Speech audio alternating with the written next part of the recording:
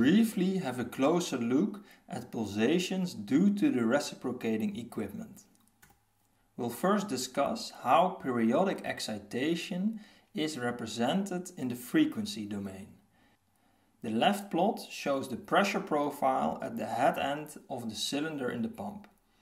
As shown in part 1 of this lecture, it is a periodic changing signal. This pressure peak is repeated over and over as the piston moves back and forth. A nice thing about periodic signals is that they can be decomposed into the frequency domain by stating that the signal is a combination of an infinite number of sine waves.